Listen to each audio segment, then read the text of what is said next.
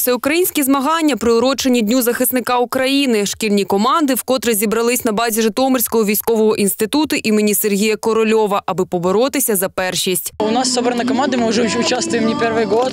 Для мене ці змагання, по-перше, підвищення е, життєвий досвід. Заохочують молодь і всіх дітей до спорту, по-перше, і для щоб вести правильний спосіб життя. Е, Дуже хвилююся. Сьогодні бігу зі своєю школою. Змагання присвячені пам'яті героя України, загиблого під час АТО Олега Міхнюка. Вихованці військово-патріотичних клубів збиралися у різних областях України. Проте Житомир приймає найкраще, діляться організатори. Такі змагання виховують у молоді прагнення боронити батьківщину, заявляють чиновники. Ми багато працювали в різних областях України, але більше всього нам сподобає подобається на Житомирщині, тому що е, база спочатку Житомирської 95-ї аеромобільної бригади. е, Сьогодні база Житомирського військового інституту. Основна мета полягає в тому, щоб е, навчати молоді е, на традиціях наших предків, які століттями виборювали незалежність нашої держави.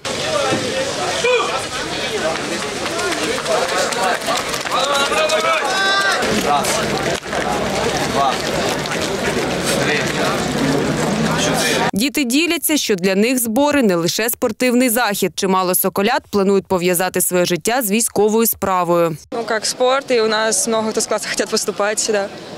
Типа дівчатки на розвідку. Підняти молодь України, щоб показати їй, що вони ну можуть не тільки сидіти там, курити, прийти і займатися спортом. Також учасникам всеукраїнського збору Соколята України проведуть майстер-класи з поводження зі зброєю. Тобто використа... ураження цілей, в- працюючи в двойках, в тройках, в команді, на, на швидкість перебігти, уразити ціль, проповзти, виконати деякі базові елементи, але тримаючи в руках уже повністю е, копію діючого прототипу, який є на озброєнні Збройних сил України. Всеукраїнські змагання збір Соколята України триватимуть до 9 жовтня. Школярі змагатимуться з військово-прикладного багатоборства. Також дітям покажуть зброю та військову техніку. У програмі передбачено і виступи з рукопашного бою. Олександра Давидова, Катерина Умінська, телеканал СК 1